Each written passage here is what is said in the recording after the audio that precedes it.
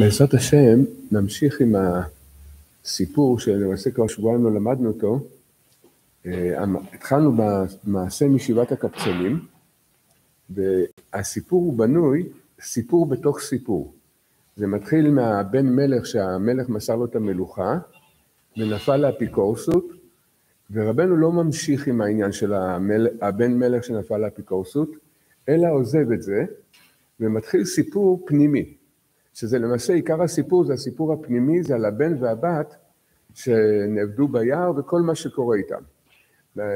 קצת דיברנו על זה, שמקובל בברסלב, שלמעשה כל התורות של רבנו, כל הליקוטי מאורן, כל השיחות והסיפורים, הכל נמצא בתוך הסיפור הזה, בתוך המעשה של הבן והבת.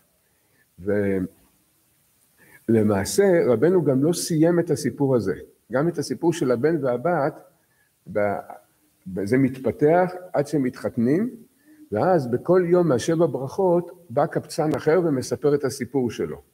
ומה שרבנו סיפר זה סיפור של שישה קבצנים. הסיפור של הקבצן השביעי, אז רבנו אמר שכבר משיח יספר לנו את זה. לכן זה, לפני הגאולה חשוב ללמוד את זה, שהשיעור הראשון יהיה לקבצן השביעי, אז מי שלומד את זה, יהיה, ידע על מה, מה המשיח מדבר. ואנחנו נדע, בעזרת השם אנחנו יכולים להגיע ל... אה, אולי רק עד הבוקר כבר הוא יגיע, אבל לפחות שנתחיל להיות בתמונה. אז הסיפור הזה, כמו שאמרנו, זה מקובל שכל התורות, שרבנו הלביש את זה בתוך הסיפור הזה, אבל הסיפור מתחיל, ויהי היום, והיה בריחה באיזה מדינה, וברחו כולם. ובדרך בריחתם עברו דרך איזה יער, ועבדו שם זכר ונקבה. אחד עבד זכר ואחד עבד נקבה. ועדיין היו בנים קטנים בני ארבעה וחמש שנים, ולא היה להם מה לאכול, צעקו ובכו. הילד והילדה שנאבדו הם לא אחים, זה שתי משפחות אחרות לגמרי. ו... ולא היה להם מה לאכול, בתוך כך בא אצלהם בטלר אחד. בטלר זה קפצן. קפצן אחד עם עסקים שלו, שנושא בהם לחם, והתחילו אלו הבנים, כוונה לבן והבת, להתקרב אליו ולהיות כרוכים אחריו. ונתן להם לחם ואכלו, ושאל אותם היכן באתם לכאן, השיבו לו אין אנו יודעים, כי היו בנים קטנים. והתחיל ללך מהם, וביקשו ממנו שייקח אותם עמו, ואמר להם, את זה איני רוצה שתלכו עמי. וביקש, וב... ואמר להם, את זה איני רוצה שתלכו עמי, בתוך כך הסתכלו והנה הוא עיוור, והיה אצלהם פלא. מאחר שהוא עיוור, איך יודע ללך? רק שהיו, והם היו חכמים, והיה פלא זה אצלם, שאיך הוא יכול ללכת, הוא בירך אותם. זה הקבצן העיוור, שיהיו כמותו, שיהיו זקנים כמותו. והשאיר להם עוד לחם לאכול והלך לו, והבינו אלו הבנים כי השם יתברך השגיח עליהם. והזמין להם את הבטלר העיוור בכאן ליתן להם אוכל. אחר כך כלה אצלהם הלחם ושוב התחילו לצעוק עבור אוכל. ואחר כך נסע לילה ולנו שם, בבוקר גם כן לא היה להם מה לאכול והיו צועקים ובוכים, וחזר ובא בטלר שהיה חירש. למעשה הסיפור הזה שבא הקבצן ונותן להם לאכול זה חוזר שבע פעמים.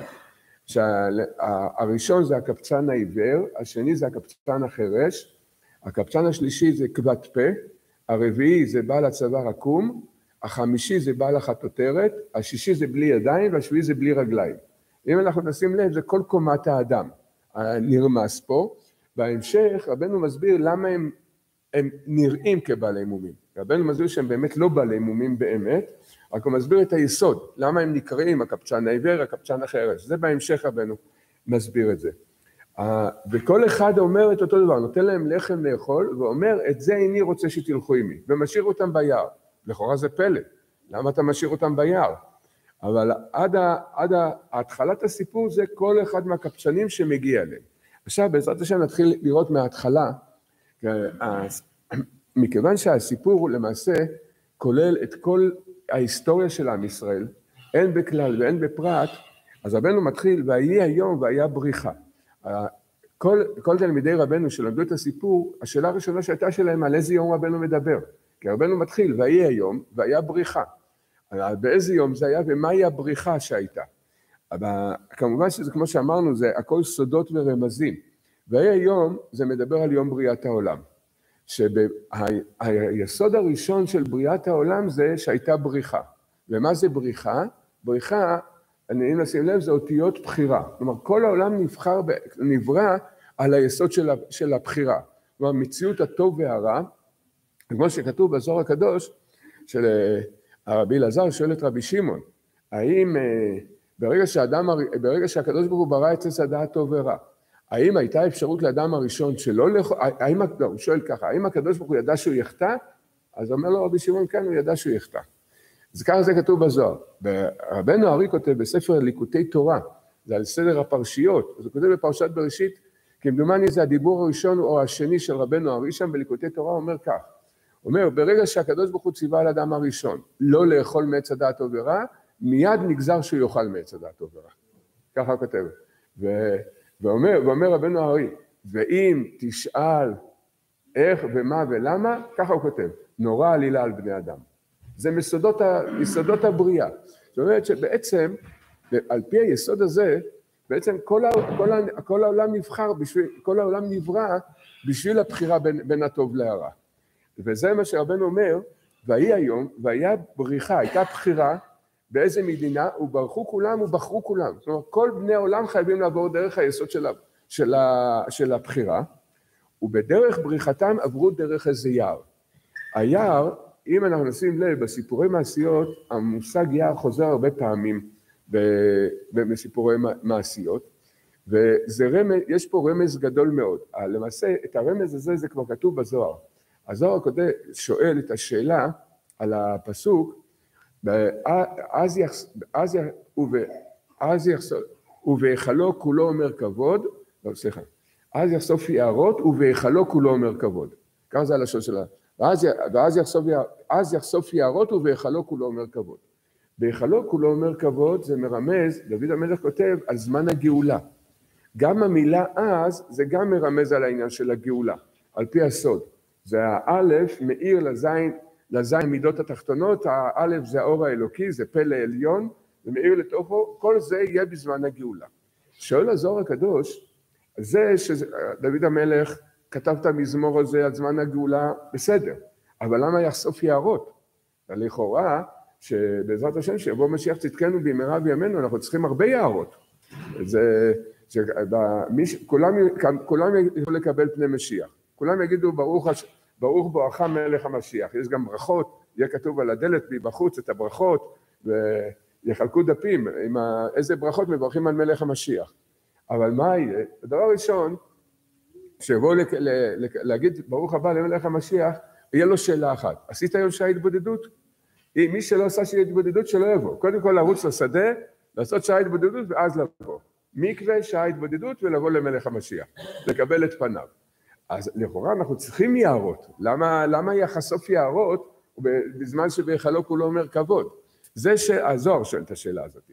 אז אומר הזוהר הקדוש שאין הכוונה במושג יערות, אין הכוונה ליערות הגשמיים, אדרבה, נצטרך uh, להרחיב את היערות, לא יהיה, לא יהיה מקום. לפני 30 שנה אמר לי אדמו"ר מפוריסאו, שיבוא משיח צדקנו, לא יהיה מקום ביערות, לכן הארץ תגדל. הארץ תגדל זה בעיקר בשביל אה, ההתבודדויות. אז, ה, אז הזוהר שואל, אז הזוהר אומר שהמילה יחשוף יערות זה לא הולך על היערות הגשמיים, אלא על המושג הרוחני שנרמז ב, ביסוד, ביסוד היער.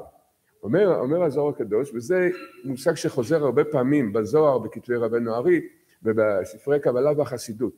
זה הגימטריה של היער רומזת על עניין היער. יער, גימטריה, אם נשים לב, י' ע' ביחד זה 80, 280 עם הרייש, יש, יש מושג בקבלה שנקרא פר דינים. שהפר זה בדיוק הגימטריה של, ה, של המילה יער, והמושג הזה, פר דינים, בקבלה יש בזה אריכות גדולה. זה, האותיות למעשה זה נרמז, בסוד האותיות באותיות מנצפח. המנצפח, הגימטריה שלהם זה 280, זה הפר דינים. בכללות, העניין, המושג פר דינים זה מרמז למעשה על כל ההסתרות והצמצומים שאנחנו עוברים בעולם.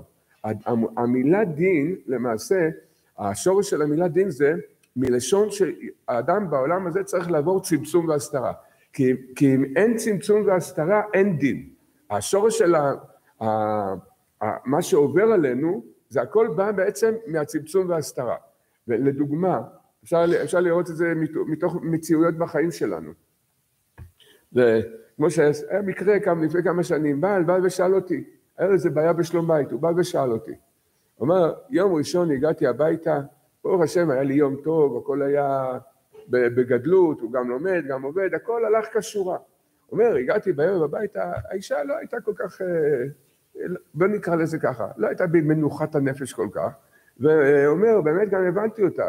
יש חמישה פספוסים קטנים בבית, אחד זרק אה, גבינה על הקיר, אחד טיפס לפה, אחד הרביץ לאחותו, אחד סתם ישב, ישב על הספה או על השטיח וצעק.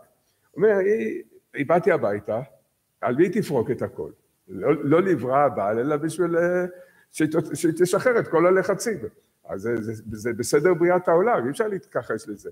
אומר, ברוך השם, היה לי כזה הערה, ואיך שהיא כעסה עליי, הקפידה עליי, הבנתי שזה לא עליי, ולימדתי עליה זכות, והבנתי שעבר עליה מה שעבר עליה, וכשהיא דיברה איתי, לא, לא לפי כבודי, אמר, ראיתי אותיות, י' כו' כמעל הראש שלה, ונזכרתי בתורה, עיקר התשובה, ישמע בזיונו לדוב וישתוק, תוך כדי שהיא מדברת איתי, אני אומר לקדוש ברוך הוא, תודה, תודה שאתה מברק אותי, וכן הלאה. אומר, ברוך השם, אומר, עברו יומיים, בסך הכל 48 שעות, באתי ביום שלישי, אותה סיטואציה, בדיוק אומר אותו דבר. אבל מה, באתי בקטנות הדעת. אומר, איך שהיא רק התחילה לדבר, ואני כבר יודע לאן זה הולך, הוא אומר, ישר כבר חיפשתי איזה כלים לזרוק עליה. אומר, מזל שהיה כלים חד פעמים על השולחן, הרי הייתה מקבלת איזה צלחת או מחבת, ואיך מדברת עליי? אבל הוא בא, הוא בא והקשה עליי קושייה, הוא אומר, למה ביום ראשון אני ראיתי אותיות מאירות, י' כ' ו' כ' מעל הראש שלה, וכל העולם מואר, יום שלישי כמעט הרבצתי לה בחזרה, למה, איך את מדברת אליי? זה, זה הסוד היער, זה סוד היער. ברגע שאנחנו בצמצום וקטנות הדעת, כל דבר אנחנו לוקחים קשה. אנחנו נופלים לכעסים והקפדות, עצבויות, כל, ה, כל מה שעובר עלינו. הכל זה בסוד הנהגת היער. אם אנחנו עכשיו צריכים לעבור דרך היער, מה שלא יגידו לנו, יצמצם אותנו, יבלבל אותנו, יעציב אותנו, יכעיס אותנו, לא משנה מה שזה. ברגע שאדם הוא לא ביער, כי לפעמים נמצאים ביער, לפעמים יוצאים מהיער. כל, כל הדרך שעכשיו זה נראה, זה הכל זה לצאת מהיער. ברגע שאנחנו לא ביער, אז ברגע שיש לאדם גדלות המוחין, כל דבר הוא מסתכל אחרת לגמרי. וזו נקודה מאוד חשובה לשים לב, שעיקר העבודה והבירור שלנו זה בזמן שאנחנו בתוך היער, כי אז אנחנו נופלים לכל הקטנויות. וממילא, במצבים האלה, בא לאדם התאוות והשיגעונות וכן הלאה, כל המידות הלא טובות, כל התאוות, זה ביער. לכן רבנו אומר, ובדרך בריחתם, בדרך בחירתם, היו חייבים לעבור דרך איזה יער. זה המציאות של העולם. למעשה זה כבר כתוב בתורה, והארץ הייתה תוהו ובוהו וחושך על פני תהום. וכל התורה זה כללים גם, בין היתר, זה כללים לכל החיים, לכל, העול, לכל הדורות, לכל אדם. הארץ הייתה תוהו ובוהו, אין מי שלא עובר את התוהו ובוהו הזה. ראינו אפילו אצל גדולי גדולי הצדיקים בכל הדורות, בשעה שהם נפלו לקטנות, מיד היו עושים שגיאה. הקדוש, התורה מעידה לנו על משה רבנו. במלחמת מדיין כעס עליהם, מיד טעה בהלכה, משה רבנו. וכן הלאה, אצל דוד המלך, שהוא ברח מאבשלום, וזו הייתה קטנות גדולה מאוד. היה, כתוב בזוהר שהיה לא היה לו ניסיון קשה כמו הניסיון של, של מרד אבשלום. כתוב שהיה לו סברה ללכת לעבוד עבודה זרה לדוד המלך. עד, עד כדי כך. היועץ שלו, חושי ערכי, אמר לו, הוא, היה לו סברה לשם שמיים לעבוד עבודה זרה.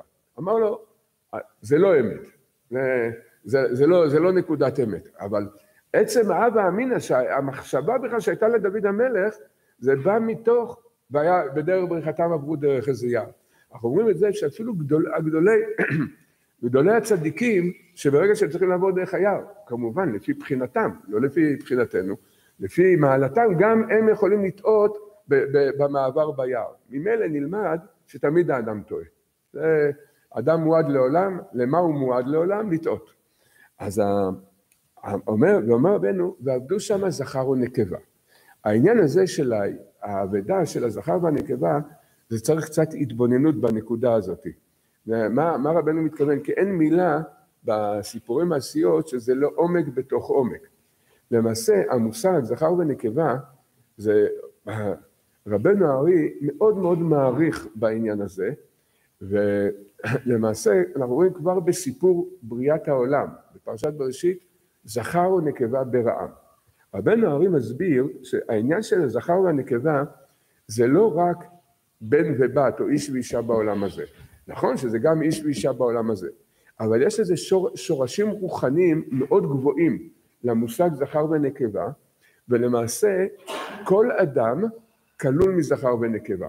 זאת אומרת שבכל אחד מאיתנו יש כוח רוחני שנקרא כוח הזכר, ויש בתוכנו כוח רוחני שנקרא כוח הנקבה. וכל הסוגיה, כל העבודה שלנו, זה מופיע בעשרות אם לא במאות מקומות, בכתבי רבנו הארי, הנקודה הזאת, שכל העבודה שלנו היא מתחילה מלעשות שלום בית בתוכנו, בין הבן והבת שבתוכנו. אם אין שלום בית בתוכנו, ממילא יוצא כבר אה, הרבה בעיות גם בחוץ. אבל השורש זה בעצם בעבודה, העבודה הפנימית שלנו.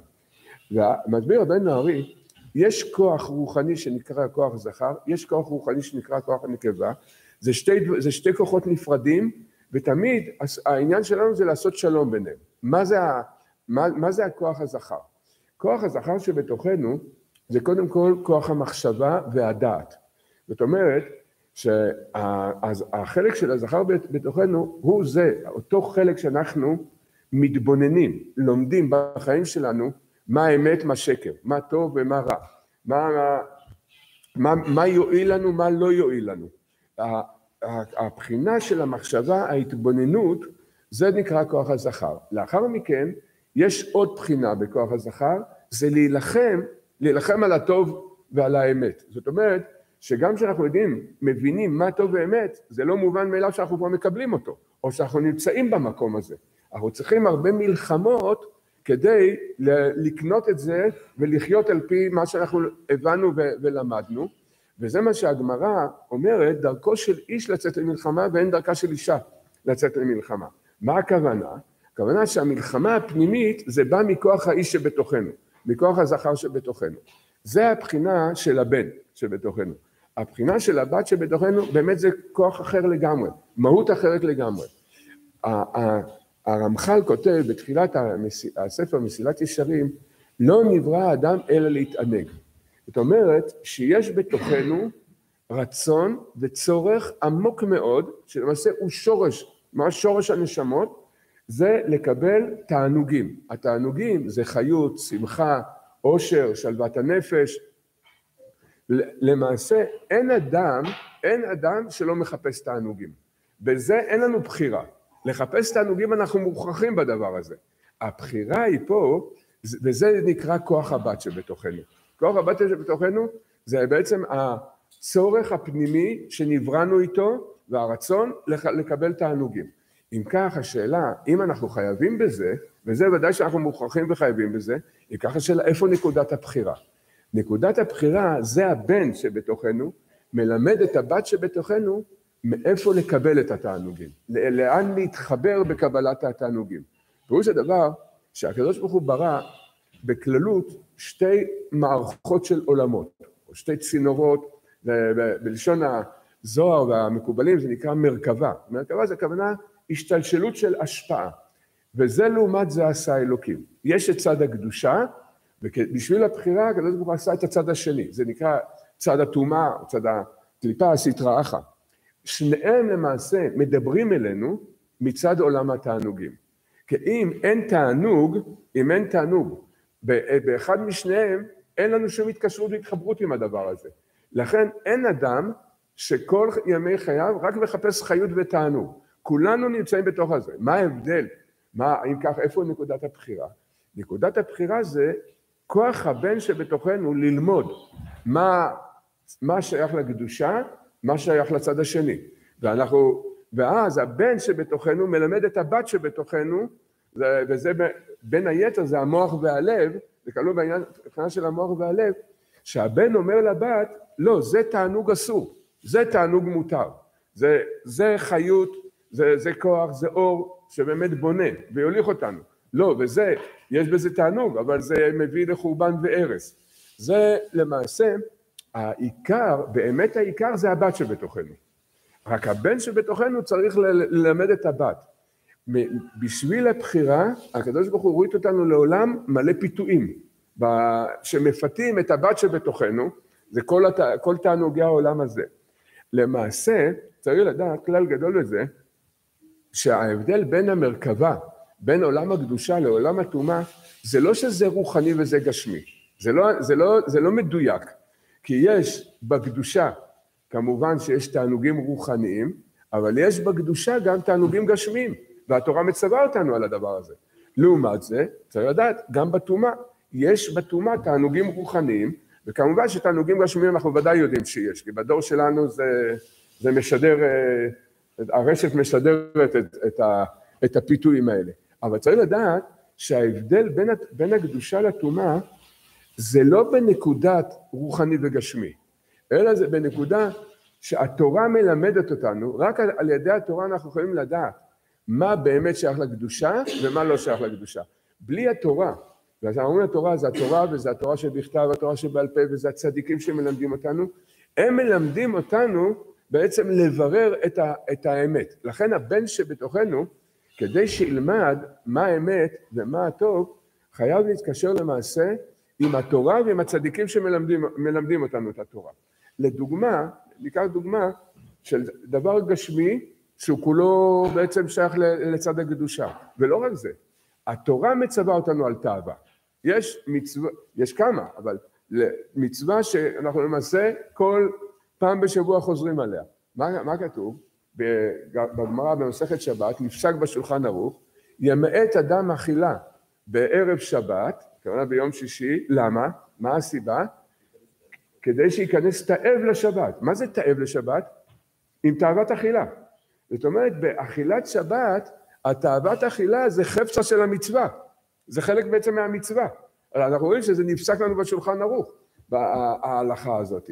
וכמובן שאפשר עוד דוגמאות. לעומת זה, יכול להיות דבר רוחני והוא כולו מצד הטומאה. זה כמו שהיה איזה מקרה לפני כמה שנים, איזה בחור שהכרנו נסע להודו ונעלם שם בהודו, אז החבר שלו מצא אותו, יום אחד עשינו אותו איזה שיחה. אז אה, אמרנו איפה אתה? הוא אומר, אני ליד איזה הר. אמרתי לו, מה, מה אתה עושה ליד ההר? הוא יושב שם ליד ההר. מה הוא אומר, יש פה אור רוחני ליד ההר הזה. אמרתי לו, מי גילה לך שיש שם אור רוחני? הוא אומר, קודם כל אני מרגיש. ב', היה איזה הודי לפני איזה כמה עשרות שנים, איזה, לא יודע, הוא לקח משהו, איזה פטריה לקח, אני לא יודע מה הוא לקח. הוא החליט שבהר הזה יש אור רוחני, יש שם קהילה שמתחברת עם האור הרוחני של ההר הזה. טוב, אמרתי לו, טוב, מה זה ההתחברות הזאת? הוא אומר, מה זאת אומרת? זה החיים, להתחבר. מחייב אותך משהו? לא, זה לא מחייב אותי שום דבר, הפוך, זה דווקא נוח מאוד, זה מתיר את כל, ה, את כל התאוות של העולם הזה, זה מתיר. אז, אז זה דוגמה של רוחניות שהיא כולה טומאה למעשה. אז ה, ה, למעשה, ה, ללמוד מה צד הקדושה ומה צד הטומאה, הבת שבתוכנו לא יכולה. הבת שבתוכנו היא צועקת. אני רוצה חיות, עושר, שמחה ותענוג. ולמי היא צועקת את הצעקה? לבן שבתוכנו. צועקת לבן שבתוכנו, תדריך אותי, אני, אני לא יודעת למצוא את הדרך של האמת. אני חייבת חיות ושמחה ותענוג. אפשר למצוא, הרבה פעמים אפשר לראות את השיחות האלה גם בתוך הבית. כי, כי באמת, אחרי הכל, הרי אנחנו רואים גם בבריאה החיצונית, אנחנו רואים יש איש ויש אישה. מה, הרי אמרנו שכל אחד כלול מהשתיים, אלא התפקיד של האיש להיות יותר, כוח הבן אצל האיש יותר חזק, לא שאין לו כוח הבת, בדור שלנו ודאי שיש לו כוח הבת, בדור שלנו, אבל לאיש יש יותר כוח הבן ולאישה היא יותר מבחינת הבת. כל ה... זה כתוב הרבה בספרים הקדושים, שכל העניין של הנישואים זה לסייע, אין לאיש ואין לאישה לתקן את הבן והבת שבתוכם. הם צריכים לסייע זה לזה, אבל זה דרך, ואף אחד שלא ייחלש בדעתו שיש בעיות של שלום בית, כי ברוך השם זה, לשם כך נברא הבית, שיהיו בעיות ושנפתור אותן ונתמודד איתן. זה תמיד מצוי. אה, מישהו פעם אמר לי בחלישות דעת שיש לו הרבה בעיות של שלום בית. אמרתי לו, מה אתה רוצה? מה, לאדם הראשון ואדם וחווה לא רבו בגן עדן? כבר בגן עדן, בגן עדן הם רבו. אמרתי לו, אם בגן עדן אדם וחווה רבו, אז זה לגיטימי גם בעולם הזה לריב. זה, אז זה בסדר, לא, לא, לא להיכנס לחלישות הדעת מהדבר הזה. אבל באמת, אנחנו, עיקר העבודה שלנו, של כל אדם, זה לדעת, קודם כל לעשות שלום בית בתוכנו. כאשר הבת שבתוכנו רוצה ל... עדיין מחוברת עם העולם הזה, וכמובן יש בזה אין ספור דרגות, וכולנו מכירים את זה בדור שלנו, כל העניין של העקביים זה בירור הבת. זה, זה, זה סוד העקבתא דמשיחא זה בעצם סוד בירור הבת שבתוכנו בעוצמות שלא היו בדורות קודמים. זה השער החמישים בעצם, זה הסתרה רוחנית של תענוגים רוחניים והעצמה של תענוגים גשמיים. לכן הדור הזה כל כך קשה לבירור מהבחינה הזאת, שמסתירים מאיתנו את התענוגים הרוחניים ומעצימים בתוכנו את התענוגים הגשמיים. למעשה המושג שכתוב הרבה בספרים הקדושים, השכינה בגלות, או שיש מושג ששכינתה באפרה, מה הכוונה, מה כוונת הדברים? מה זה השכינה? השכינה, כמו שהבן שלי שאל אותי, למה השכינה נקראת על שם אישה? זה היה לי קשה מאוד לענות לו, כי הוא בן תשע. זה לא, לא, לא, לא יכולתי לפתוח לפניו שיש בן ויש בת. כוח השכינה למעשה היא קשורה מאוד עם הבת שבתוכנו. להעלות את השכינה ולעשות איחוד קודשא בריחו ושכינתה, מה זה קודשא בריחו ושכינתה? זה שהבן מסכים עם הבת, הבת מסכימה עם הבן. בדרך כלל הסרבנית זה הבת. הבן לא תמיד יודע להתנהג איתה יפה, הוא צועק עליה, הוא לא, מתנהג, הוא לא מסביר לה את זה בדרך ארץ, הוא לא מעיר לה, הוא סתם צועק עליה. הייחוד, מתי אנחנו באמת עושים ייחוד למעלה? כשאנחנו עושים ייחוד למטה, בתוכנו. זאת אומרת, כאשר אנחנו מקשרים את המוח להאיר ללב את התענוגים האמיתיים, מיד נעשה ייחוד למעלה. כי השכינה, השכינה זה נקרא בחינת הבת שבתוכנו. לכן, כשאנחנו אומרים שכינה בגלות, או שכינתא באפרא, הכוונה, כוח הבת שבתוכנו, הוא נמצא בגלות. מה זה הגלות? שאנחנו עדיין מחוברים ומחפשים את החיות, את התענוג, מה, מהצד השני. וככל שנשמות ישראל יותר מחוברים עם הצד השני, לקבל את התענוג מהמרכבה של הטומאה, אז יותר ויותר השכינה בגלות. למעשה להוציא את השכינה מגלות זה להוציא את הבת שבתוכנו מהגלות. ואיך מוציאים אותה? זה עבודה של כל החיים. זה כל החיים, או באמת מהי שלמות הייחוד, כמו שיהיה השלמות הכללית של נשמות ישראל, זה כמובן יהיה בגאולה, אבל באופן פרטי, מהי השלמות? כאשר הבן שבתוכנו, שזה הדעת, המחשבה, המלחמה, מאיר בתוך הבת, בתוך הת... הלב והרצון לקבל תענוג, את האור האלוקי, את התענוג האלוקי. ואז הייחוד הוא בשלמות. וככל שהלב שלנו יותר שמח וחי ומחפש ומתגעגע אחרי התענוג של הקדוש ברוך הוא, שבא לידי ביטוי בלימוד, בתפילה, בקיום המצוות, ככל שזה יותר חזק, ממילא נעשה על ידי זה הייחוד. ידוע שהיו צדיקים שאמרו לא להגיד לשם ייחוד קודשו ברוך הוא ושכינתו, הנודע ביהודה התנגד. למה, למה אתה מתנגד? מה, זה, זה דבר כזה קדוש. הוא לא התנגד כמובן, אה, ההתנגדות שלו הייתה מכיוון שלא מבינים מה הכוונה של הייחוד. ואם לא מבינים אפשר לעשות פירוט במילים האלה.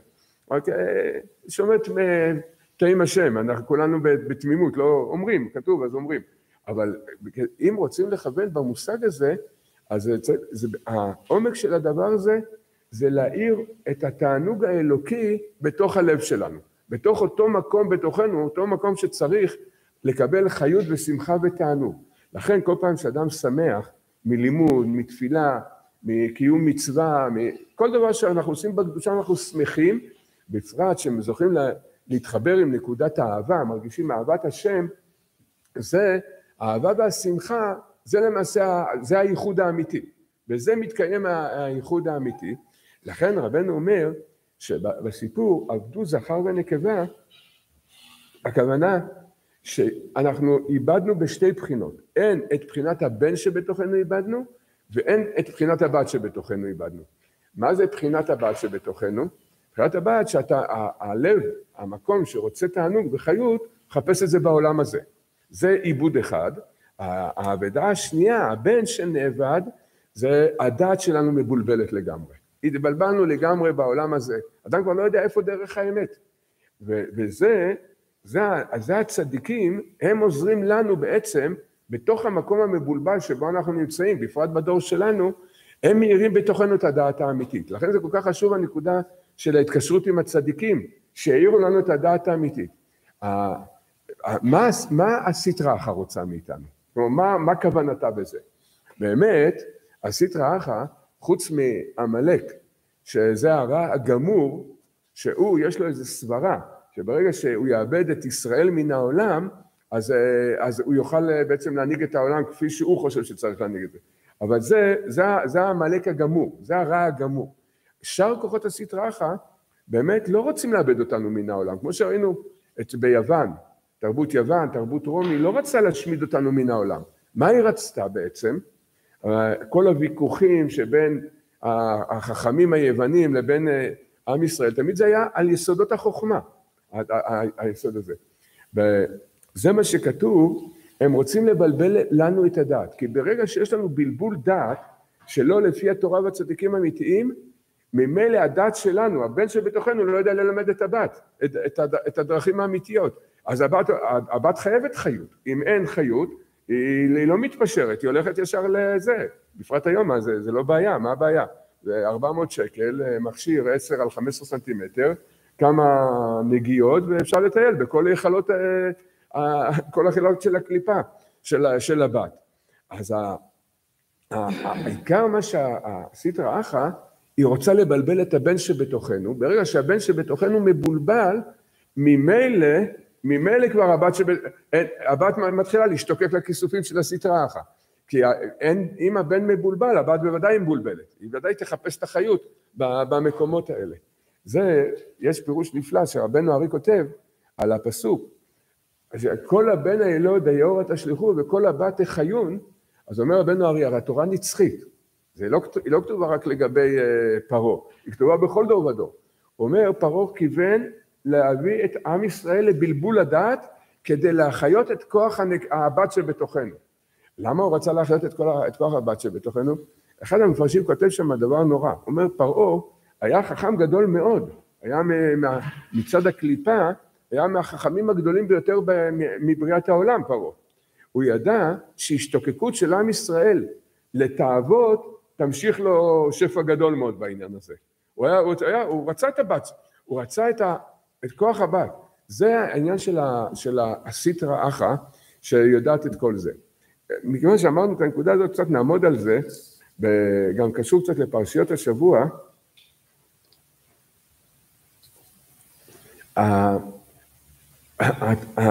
אנחנו רואים שהחכמים של מצרים היו חכמים מאוד מאוד גדולים, מאוד גדולים.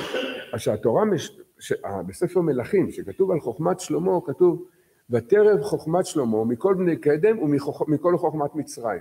זאת אומרת, שבספר מלכים, שזה נכתב על פי הנביאים, זאת אומרת, זה מעיד, ספר מלכים מעיד על גודל חוכמתו של שלמה המלך, שאנחנו יודעים ויחקר מכל האדם, אז כשמשבחים אותו, במה משבחים אותו? שהוא היה יותר חכם מחוכמת מצרים. זאת אומרת, מכאן נלמד עד כמה הייתה גבוהה חוכמת מצרים. גם, אפשר לראות עוד סימן לדבר, זה היה בפרשת השבוע שקראנו, בפרשת וארא, כתוב בפרק ז', פסוק י"א כתוב, ויעשו חן החרטומים בלהטיהם. 11 פסוקים אחרי זה, כתוב ויעשו חן החרטומים בלתיהם. הגמרא דנה, מה, יש פה שינוי לשון. בפעם הראשונה כתוב בלהטיהם עם ה', בפעם השנייה כתוב בלתיהם בלי ה'. הגמרא אומרת, זה שתי מילים שונות לגמרי. לא, בתוך קריאה לא שמים לב לזה, אבל זה בעצם, זה שני מושגים אחרים לגמרי. כתוב במדרש, אנחנו אומרים את הפירוש של המדרש והגמרא על פי רוב הראשונים. רוב הראשונים, שזה רש"י, הרמב"ן, הרשב"א ועוד, אומרים את הפירוש הזה. לכן, למעשה יש ראשון אחד רק אומר פירוש אחר, הערוך אומר פירוש אחר. אבל רוב הראשונים כך פירשו את זה. בלהטיהם משורש המילה להט. להט זה אש לוהטת. זאת אומרת, יעשו חן באישם הלוהטת. בפסוק השני, בלתיהם, זה יעשו כן, משורש המילה זה בלט, ובלט זה חרישי, ויעשו כן בשקט. זה, זה שני פירושים, לפי רוב הראשונים זה שני הפירושים. מה זה, מה זה בלהטיהם באש ומה זה בחרש? אומר המדרש, בלהטיהם, הכוונה באש זה מלאכי חבלה. בבלטיהם זה בשקט, זה ש"דים שבאים בשקט. אומר המדרש, חכמי מצרים היו חכמים כל כך גדולים, ששלטו על מלאכי חבלה ושלטו על ש"דים. מכוח החוכמה שלהם הם שלטו על, על כל הבחינות הזה, היה להם שלטון בכל העולמות. איזה כוח עצום היה לפרעה ולחרטומים. ופרעה היה מהגדולים ביותר בעולם בכל ההיסטוריה בידיעת החוכמה הזאת. וזה. לפניו, מי שהיה חכם גדול מאוד זה היה נמרוד, ואחר כך באמת מבבל עברה כל החוכמה הזאת למצרים. מה, מה זה החוכמה הזאת? אם נתבונן קצת, מה זה, על איזה חוכמה בכלל מדובר? אנחנו מבינים שמדובר פה על חוכמה של טומאה, אבל למעשה זה היסודות, נגיד את זה בקצרה, זה היסודות של עבודה זרה. ומכיוון שנעלמה החוכמה הזאת מן העולם, לכן לא מתעסקים איתה. למרות שיש כן כאלה שיודעים את זה, אנחנו לא יודעים עד כמה הם יודעים, אבל כן יודעים קצת את היסודות האלה. השורש של הדבר, למעשה, שזה למעשה שורש של כל העבודה זרה. היעבץ כותב, אם רוצים לדון בסוגיות של עבודה זרה, חייבים לדעת את השורש הזה. כי בלי זה לא מבינים מה זה בעצם עבודה זרה. עבודה זרה זה לא הייתה איזה עבודה טיפשית, לעשות איזה, לגלף איזה עץ, לעשות ממנו צורה ולהשתחוות לו. זה יותר מדי מטופש לעשות את הדבר הזה. אפשר לראות את זה בחטא העגל. עשו עגל. עכשיו, מתי הם עשו את העגל? בי"ז בתמוז, עשו את העגל 40 יום אחרי מתן תורה, נכון? שלושה חודשים אחרי יציאת מצרים. עשו עגל, ומה הם אמרו לעגל הזה? מה אמרו לעגל הזה? מה הם אמרו לו?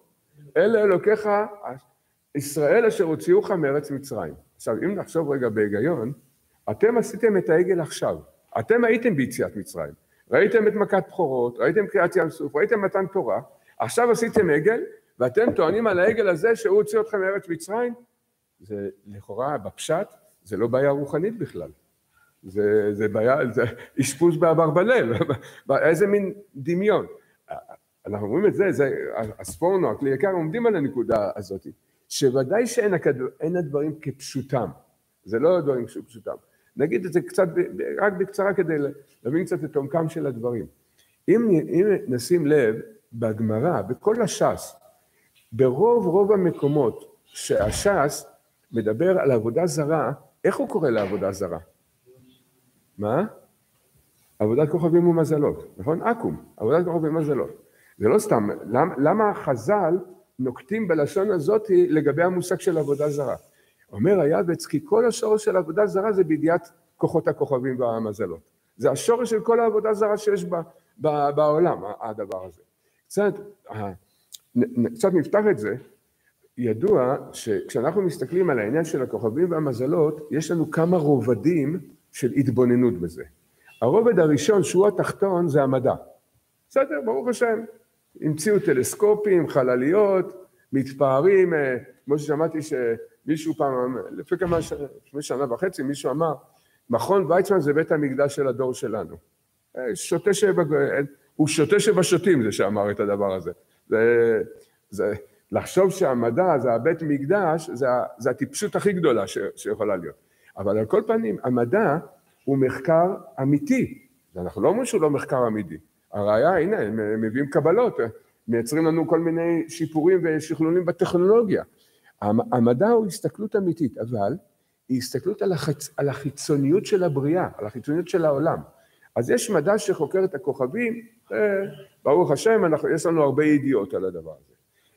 קומה נוספת, קומה, בית, הכל בהתבוננות בכוכבים ובמזלות, קומה יותר גבוהה מהמדע, מה זה? זה מה שחז"ל קוראים לזה הצטגנות, ומה שהעולם קורא לזה אסטרולוגיה. ההצטגנות והאסטרולוגיה, אנחנו יכולים לראות בהרבה הרבה מקורות בחז"ל, שזה חוכמה אמיתית. ודרך אגב, מי היו החכמים הכי גדולים בעולם בזה? חכמי ישראל היו החכמים הכי גדולים. בחוכמה, גם בחוכמה המדעית וגם בחוכמה האסטרולוגית. צריך לדעת. גם במדע, חכמי ישראל היו אה, חכמים יותר מהמדענים של היום בהרבה הרבה.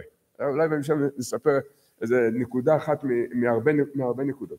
אבל חוכמת ההצטגנות זה לדעת כיצד מצב הכוכבים התנועה שלהם והמציאות שלהם כל רגע ורגע איזה השפעות משפיעה בעולם.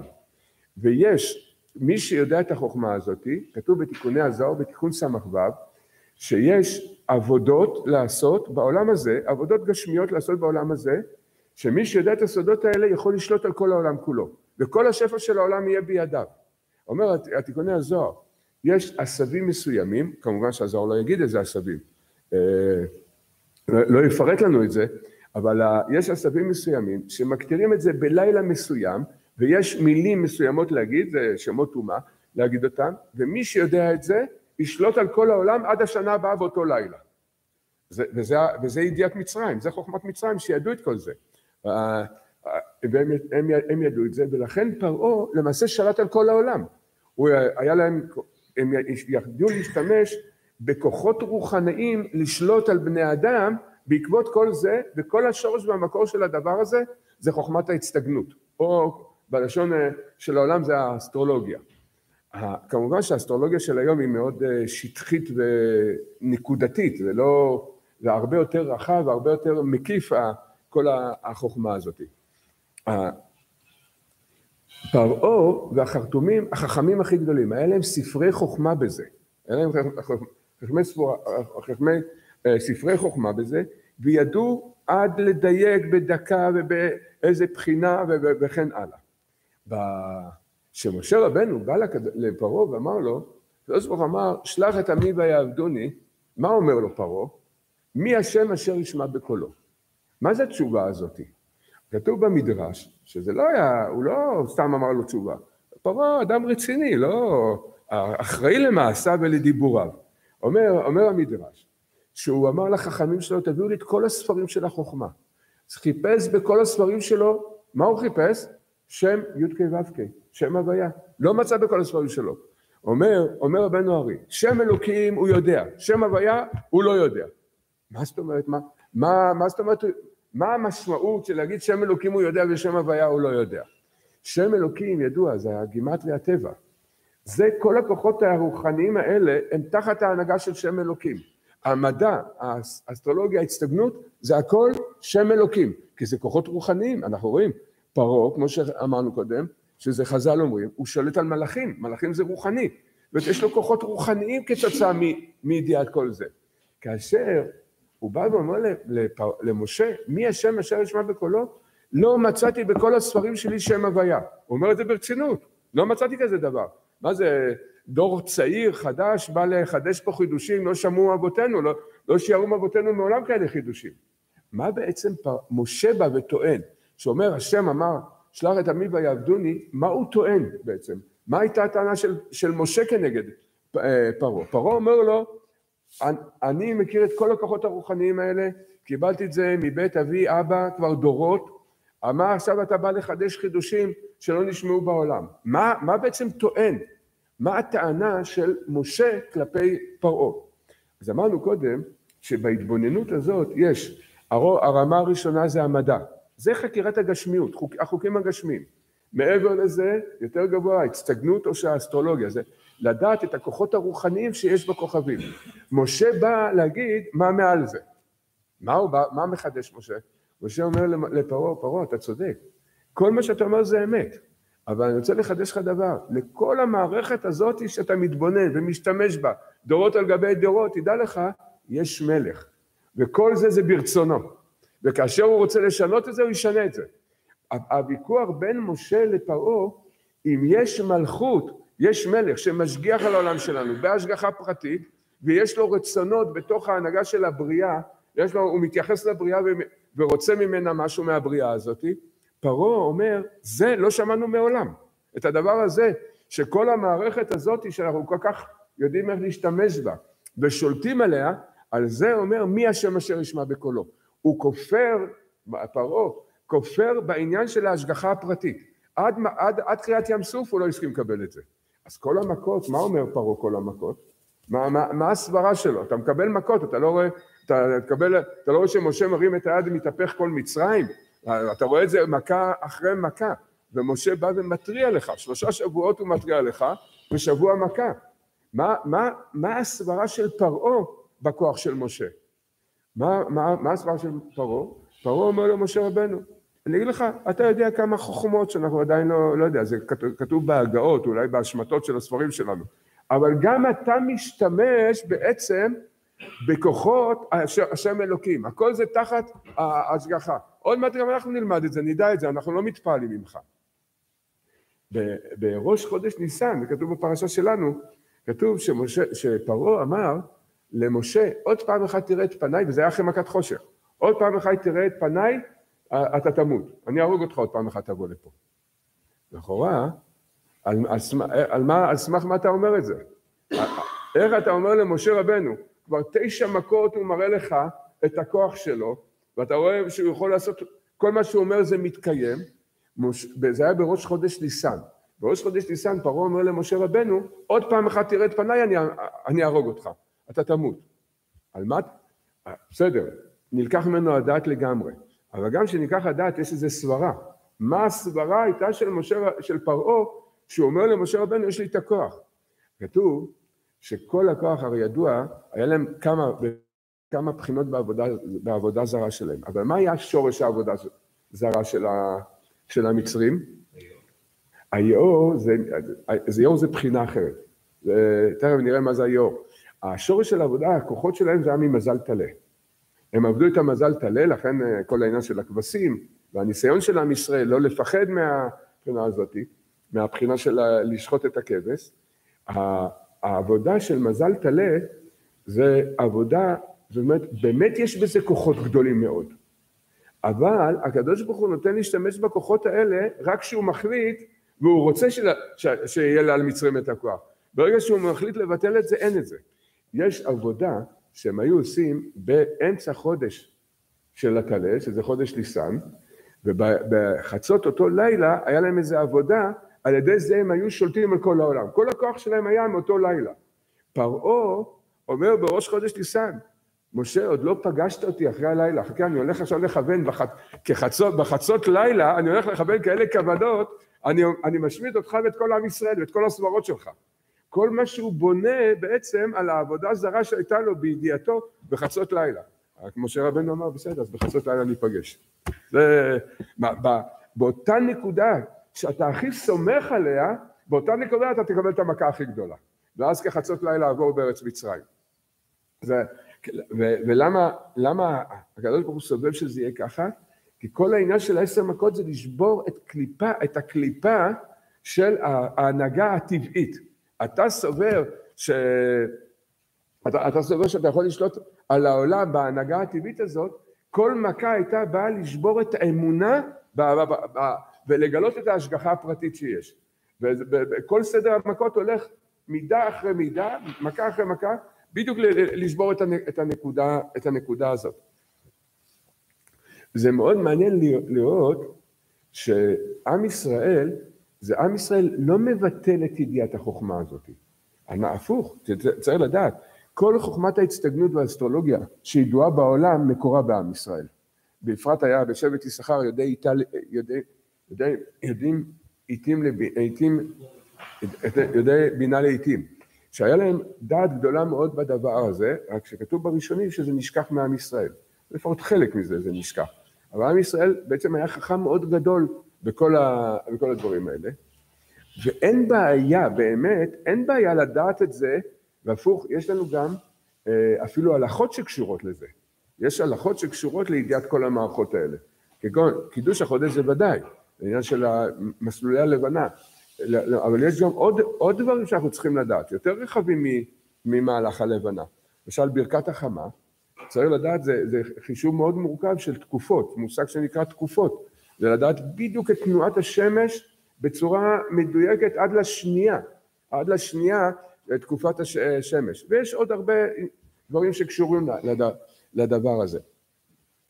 לכן, בחוכמה עצמה, בעצם החוכמה הזאת, זה לא, לא שהחוכמה עצמה היא רעה, אלא היא פתח לכפירה, לעבודה זרה. אבל אם לוקחים את זה לצד הטוב, מה זה לצד הטוב? נכון, אנחנו יודעים, אנחנו מבינים, יש פה באמת חוכמה מופלאה מאוד, יש פה כוחות רוחניים מופלאים מאוד, אבל אנחנו ממליכים את הקדוש ברוך הוא בהשגחה פרטית על כל המערכת הזאת. ברגע שאדם ממליך את הקדוש ברוך הוא, בעצם הוא מתקן את כל הבריאה. לכן, כתוב בזוהר הקדוש, בזוהר בראשית, כתוב, מה השורש של החוכמה הזאת? מה השורש שלה? זה בעצם עץ הדעת טוב ורע. לכן גם, קודם כל העץ נקרא עץ הדעת. איזה דעת? לדעת את כל המערכת הזאת. והתורה קוראת לעץ טוב ורע, זאת אומרת יש בו צד טוב ויש בו צד רע. מה הצד הטוב, מה הצד הרע. אם לוקחים את כל החוכמה הזאת, אדרבה, להגדיל את האמונה, להתפעל מכוח השם, הרבו מעשיך השם, זה צד הטוב שבדעת הזה. אבל, אבל מצד שני, זה מה שהקדוש ברוך הוא אמר לאדם הראשון, אל תתעסק בדבר הזה כדי שלא תיכנס לחלק הרע. מה שכתוב, שאילו היה מחכה לשבת, היה כבר מתגלה דעת כזאת מעץ החיים שמאיר לעץ הדעת, שאי אפשר היה להתחבר עם חלק הרע. חלק הרע בעץ הדעת זה בעצם לקחת את כל החוכמה הזאת ולהשתמש בה ולהסתיר את המלכות של הקדוש ברוך הוא. הבירור של הטוב והרע, אם אנחנו ממליכים את הקדוש ברוך הוא, או אם אנחנו לא ממליכים את הקדוש ברוך הוא, בתוך כל, ה... בתוך כל המהלך הזה. ובאמת, אנחנו רואים שגם חז"ל, גם חז"ל התייחסו לזה, יתר על כן, הגמרא במסכת שבת אומרת שגם אברהם אבינו התייחס לדבר הזה. אברהם אבינו היה אחד החכמים הכי גדולים ברמה הזאתי, וכאשר הקדוש ברוך הוא אמר לו, אה, יהיה לך בן, יהיה לך זרע, מה, אומרת הגמרא במסכת שבת, מה טען אברהם אבינו כנגד הקדוש ברוך הוא על זה? מה הוא, מה, למה הוא פיקפק בזה? הוא אמר לקדוש ברוך הוא, אני יודע מהחוכמה שלו, אומר, אני נולדתי במזל צדק. באמת, כתוב, הגמרא אומרת, מי שנולד במזל צדק יהיה צדקן, יהיה צדיק. זה כבר סייעתא דשמיא להיות צדיק. רק מה, תלוי איפה מזל צדק נמצא ברגע ההולדה. יש לו מצבים שונים שהוא יכול להיות. וכשאברהם אבינו נולד, מזל צדק היה במערב. והגמרא אומרת, מי שנולד במזל צדק במערב לא יכול להוליד. מסבירים אפילו, הראשונים מסבירים למה, זה נותן כוח קרירות בתוך האדם, הוא מאבד את כוח ההולדה. אברהם אבינו אמר לקדוש ברוך הוא, אתה חונה לאדם דעת, אתה נתת לי את הדעת, אני יודע, אני נולדתי במזל צדק במערב. אמר לו הקדוש ברוך הוא, זה הבעיה שלך, זה הבעיה שלך, בגלל שאתה נולדת במזל צדק במערב, לקח את הכוכב צדק, העביר אותו למזרח, נולד בליל אברהם אבינו, כוח ההולדה. שואלים את השאלה הזאת, רגע, הרי כל ההשפעה היא ברגע שאדם נולד. ברגע שאדם נולד, אז ההשפעה.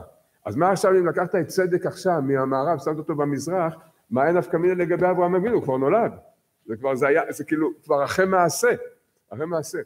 רואים מכאן, רואים מכאן, שמה שכתוב, הגמרא אומרת, לקחת כוכב צדק, הביא אותו למזרח, כוונת הדברים, החזיר את, את מסלול הזמן אחורנית, לרגע ההולדה, שינה את כל מזלו של אברהם אבינו, כאילו הוא נולד, וכאילו ברגע ההולדה הכוכב צדק היה במזרח. זה, זה, כל הנקודה זה לראות כי השם הוא האלוקים. האלוקים זה ידיעת כל המערכת הזאת. השם הוא האלוקים זה לדעת את ההשגחה הפרטית. וצריך לדעת, הגמרא דנה, זה השאלה למעשה, אם ישראל למעלה מן המזל או לא למעלה מן המזל, שהגמרא שם דנה בסוגיה הזאת. ואנחנו רואים, החידוש שם, יש שם כמה סיפורים, מן הסתם גם ידועים, על הבת של רבי עקיבא, שאמרו לו אחוזים בכוכבים, בליל חופתה היא תמות. ואז הוא בא בבוקר, וידוע, סיפור ידוע. אז הוא ראה שהסיכה שהייתה בראש שלה תכופה בקיר. מסר את הסיכה, ראה נחש, שזה הנחש שאמרו לו החוזים בכוכבים שהיא נולדה. אז הוא שאל אותה, שאל, שאל אותה, ביתי, מה עשית? ואז היא סיפרה לו את הסיפור. היה אני שאלתי לך מהשמחה, אף אחד לא שם לב, ואני הבחנתי בו ונתתי לו אה, זה, נתתי לו אה, לאכול וכיבדתי אותו. הייתי שמובן גם שהיא שלחה את אחד המשרתים שיביא גם בגדים, שלא, שלא ישב בבגדים אה, לא נעים, היא דאגה לו. אמר לה, אמר לה רבי עקיבא, ישראל למעלה מן הזל, ביטל את כל, את כל גזירת הכוכבים, שתמותי בליל חופתך.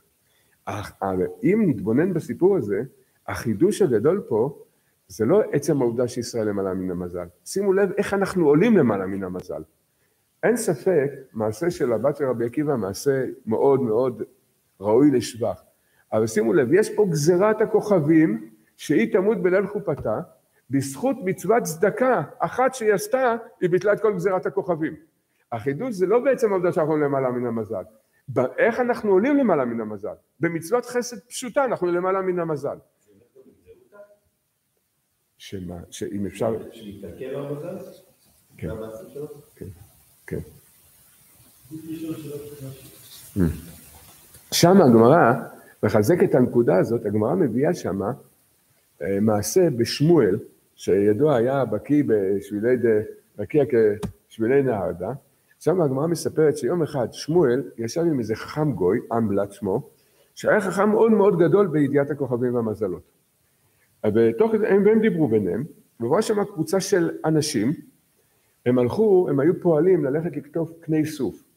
כשהם עברו שמה, אז אמבלט אומר לשמואל, מצביע לו לאחד מהאנשים, ואומר לו, אתה רואה, הוא לא יחזור מהאגם. שמואל אמר לאמלט, אם הוא יהודי הוא יחזור. אז הם אפילו לא יודעים, הם לא ידעו אפילו אם הוא יהודי. זה... והם, והם הם ישבו וחיכו, עברו כמה שעות, חזרו והוא חזר איתם. אמלט התפלל, התפעל כל כך מהחוכמה של שמואל, רץ אל האדם הזה, והם סחבו אה, קני סוף על הגב. הוא פתח את הקני סוף שלו, כי הוא ידע, מה, מהידיעה שלו, הוא ראה. אז הוא פתח את הקני סוף, מה הוא ראה? שבשעה שהוא קצץ את הסוף, היה שם נחש, והוא חתך אותו. אה, אותו, אותו אדם, אותו יהודי. אז אה, הוא מאוד התפעל, אז שמואל בא, שאל את אותו יהודי, ספר לי, מה עשית היום? אז הוא לא כל כך אפילו הבין מה הוא מתכוון. הוא אומר, היום עשית איזה מצוות חסד, ספר לי מה עשית. אז אמר לו, הוא נזכר, אז הוא אמר לו, בבוקר אנחנו קבוצת פועלים, עובדים ביחד, ואנחנו נוהגים אה, מצד שיתופיות, יש לנו כלי, וכל אחד בבוקר מביא את הפרוסת לחם שהוא הביא, את הסנדוויץ' שלו, שמים את זה בכלי, אחר כך מחלקים את זה. ש... שלא אחד יביא איזה סעודה, אלא מתחלקים בשווה. היום בבוקר אני הייתי זה שאוסף את הלחמים, ושמתי לב שאחד מהפועלים לא, לא הביא לחם, כי לא היה לו. ולא רציתי שהוא יתבייש, לקחתי מעצמי פרוסת לחם ושמתי שם, בתוך הכלי הזה. אמר לו שמואל, על זה ניצלו חייך. החידוש בסיפור הזה, זה לא שיהודי יכול להינצל מהגזרה. החידוש בזה, מצווה, הוא שם לחם, אין ספק, זה מעשה יפה, אבל בוא נגיד, זה לא הופך עולמות. אצל יהודי זה הופך עולמות, הדבר הזה. כל הגזרה הוא ביטל ב, ב, ב, ב, בנקודה הזאת. אז ככל שאנחנו מתחזקים באמונה, בפרט בנקודה של ההשגחה פרטית, למעשה אנחנו מבטלים את כל הכוחות האלה. כל המערכת הזאת היא קיימת, היא נכונה, וראיתי ששואלים גם, למה לנו בכלל לדעת? אם אנחנו מבטלים את זה, למה לנו לדעת? אז כתוב, יש כמה סיבות. אחת הסיבות, זה מאוד מעניין, אה, זה כתוב בספר שנקרא אוסרי לגפן, אז זה אומר, חנוך לנער לפי דרכו, זה תדע את השורש מי שיודע, יודע את השורש שלו, תוכל לחנך אותו לפי המידות שלו. אז זה מסייע בחינוך. תבין למה זה, יש לו נטיות כאלה, יש לו נטיות כאלה. ודאי שזה, זה לא, בוודאי זה לא מבטל את הבחירה, זה רק מחדד ומעמיק את הבחירה. אם כבר נגענו בנקודה הזאת, נספר עוד דבר מעניין, שיצא לי לאחרונה לראות את זה. יש מושג שנקרא כוכב שביט. זה היה מה שהגמרא במסכת ברכות, מה הזיקים כוכב שביט. שמואל, על הכוכב שביט, שמואל אמר, על זה הוא אמר את הדיבור הידוע, נראים לי שבילי דרקיע כשבילי דנהרדה, כוכב שביט לא ידעתי מהו. שמואל אמר שהוא לא יודע. צריך לדעת ששמואל אמר שהוא לא יודע, זה לא כמובן שהוא לא ידע. הכוונה שחסר לו בשלמות הידיעה על, ה, על המושג הזה כוכב שביט, אבל ודאי שהוא ידע הרבה מאוד על הכוכב שביט. אבל הכוכב שביט זה תופעה בבריאה מאוד מאוד מעניינת, וזה, אף אחד לא יכול להסביר את התופעה הזאת. נסביר קצת מה זה, מה זה העניין הזה של כוח שביט. יש, ה, הידיעה גם של המדע, גם של ההצטגנות, יודעת סדר, שיש סדר בכל הבריאה. אנחנו מסתכלים לשמיים, רואים הרבה כוכבים, אבל הכל מסודר. חוק וזמן שם להם, שלא ישנו את תפקידם. אחד מהסדרים זה שהמערכת כוכבים מחולקת מערכות מערכות, מה שנקרא מערכות של שמש. ועושה, וקבוצה גדולה של מערכות שמש מרכיבות גלקסיה, וכן הלאה. אז המערכת שמש שלנו, אנחנו יודעים עליה כבר אלפי שנה, על המערכת שמש. בספר היצירה כבר מצוין הכוכבים שבמערכת שמש שלנו. זה ידיעה, יש במערכת שמש שלנו, יש שבעה כוכבים שמקיפים את כדור הארץ. גם השאלה המדעית, מי מקיף את מי, זה לא, לא, לא באמת שאלה משמעותית באמת. אז שבעה כוכבים במערכת שמש שלנו, אנחנו קוראים לזה קצת בבדיחות, זה המגרש הביתי שלנו, זה מערכת השמש שלנו. עכשיו יודעים בזה פרטים ופרטי פרטים, ואפשר לדייק על תנועת הכוכבים עד דיוק של חלקי השנייה. בדיוק ממה הם מורכבים, מה, מה כוחם, מה מהותם, איזה מין חומר יש שם, יודעים אין סוף פרטים על הדבר הזה. דוגמה, קודם כל, מה זה המגרש הביתי שלנו? זה, זה השטח הקרוב, זאת אומרת, זה החלק הפרטי שלנו. מכדור הארץ עד סוף מערכת השמש, כי זה מערכת עגולה, זה, זה לא רחוק, זה 6 מיליארד קילומטר.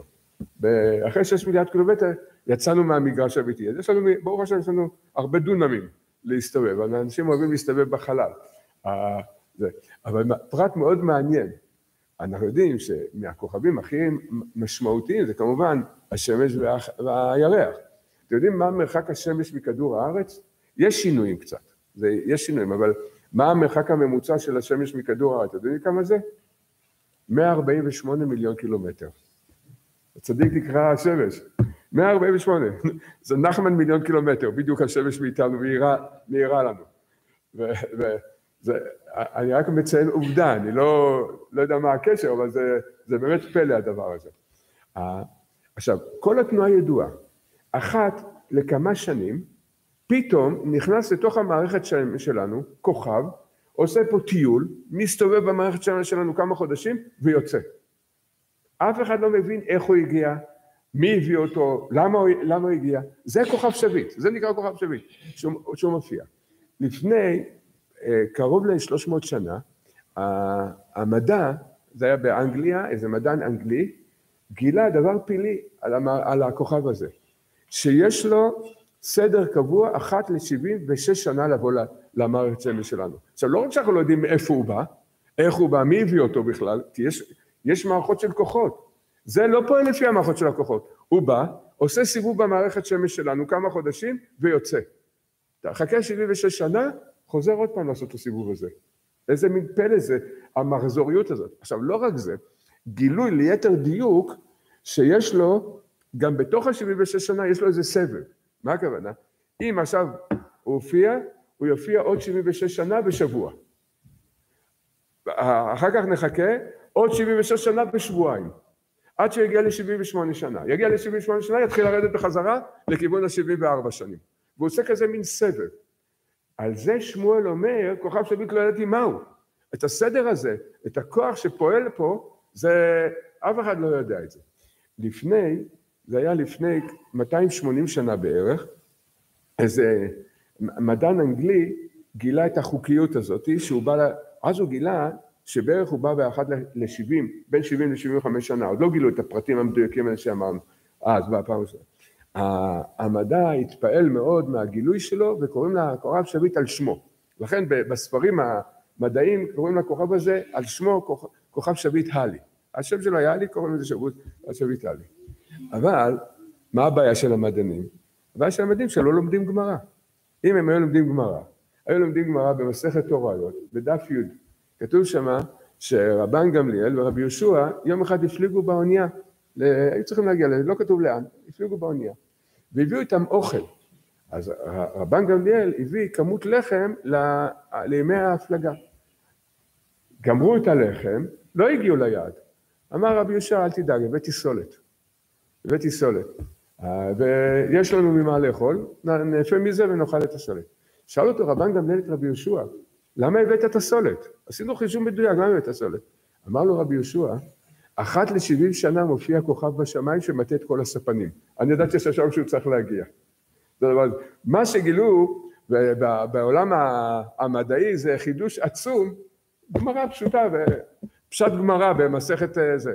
רש"י מסביר שמה, שאחת לשבעים, רבי יהושע היה חכם גדול מאוד בכל זה, ידע, אחת לשבעים שנה מופיע, מופיע הכוכב הזה. עד היום אף אחד לא יודע את זה. זה מעניין שיש סברה, רבי יהושע ורבן גמליאל הם חיו בזמן החורבן. בזמן החורבן, וארבע שנים לפני החורבן הכוכב הזה הופיע בשמיים. ואז בתוך עם ישראל, בירושלים, זה כבר היה בזמן המצור, הם לא ידעו, היה מחלוקת, האם זה סימן לטובה או סימן לרעה, ההופעה של הכוכב. כי גם כשהכוכב הזה מופיע, הוא לא מופיע כל פעם באותו צורה. כל, כל הופעה שלו יש לו איזו צורה אחרת, ולפעמים הוא מופיע, ויש צילומים שזה, זה משהו מדהים. זה במשך כמה חודשים, כל השמיים רואים פס אור, כמו כוכב, אבל כל השמיים אה, זה, פס אור מקצה השמיים עד קצה השמיים, כמה חודשים. לא תמיד לא מופיע בצורה הזאת, אבל כמה פעמים. בזמן החורבן ראו פס אור בשמיים. והיה המחלוקת, הבריונים בירושלים אמרו, זה סימן לטובה ואנחנו ננצח במלחמה. רבן יוחנן בן זכאי והחכמים ידעו שזה, שזה לא, לא זה, שזה לא סימן לטובה. ודאי שהם צדקו.